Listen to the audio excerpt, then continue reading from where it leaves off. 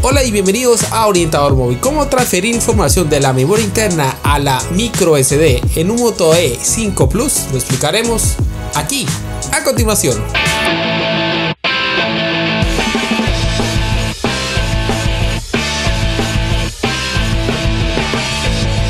Para las personas que tengan este equipo, que generalmente viene de 16 GB y de pronto lo tengan saturado, lo tengan lleno, pues ese es el tutorial correcto.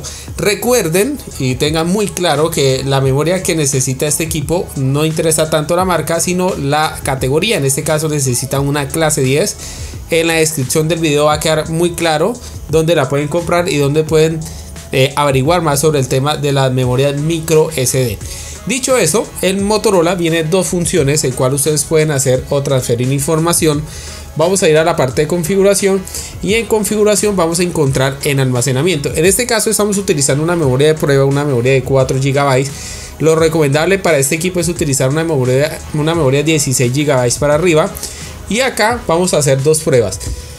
Este equipo maneja dos versiones o dos configuraciones de la memoria micro SD. En este caso, yéndonos acá a la parte de opciones de almacenamiento, nos permite mover a medios. Cuando nosotros hacemos eso, es decir, toda la información, lo que es fotos, música y videos, pasaría a la tarjeta SD.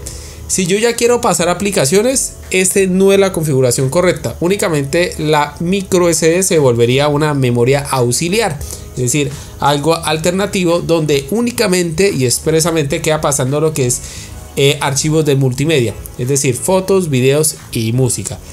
En las fotos y videos de música, ejemplo, voy a tomar las fotos que haría únicamente pasando fotos que tomen la cámara, pero si me envían una foto del WhatsApp, eso va directamente a la memoria interna. Entonces, para las personas que quieran configurarlo como almacenamiento externo, lo pueden hacer. Pero si de pronto ustedes ya desean es configurarlo como almacenamiento interno, vamos directamente nuevamente acá, opciones de almacenamiento. Vamos a darle formatear como almacenamiento interno y acá automáticamente la memoria micro SD se vuelve memoria interna. Es decir que si tengo un equipo de 16 GB pues este pasaría a tener 32 y automáticamente pasarían aplicaciones, pasarían imágenes, pasaría música, se empiezan a compartir de forma automática, así de fácil y sencillo.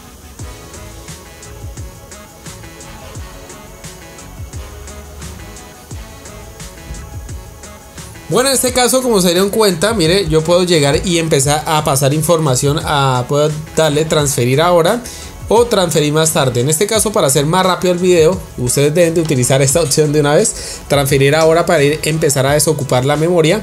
Pero en este caso vamos a colocar transferir más tarde. Y automáticamente ya queda lista la tarjeta configurada para que empiece a compartir información, aplicaciones, todo lo que ustedes quieran. Bueno amigos, esperamos que este video tutorial les haya gustado. Vamos a dejar una encuesta donde nos digan si en realidad este video les pareció útil o no. Bueno amigos, esperamos que este video tutorial les haya gustado. No se olviden suscribirse a nuestro canal, como seguirnos en todas nuestras redes sociales que aparecer en pantalla. No siendo más, chao, hasta un próximo video. Chao, chao.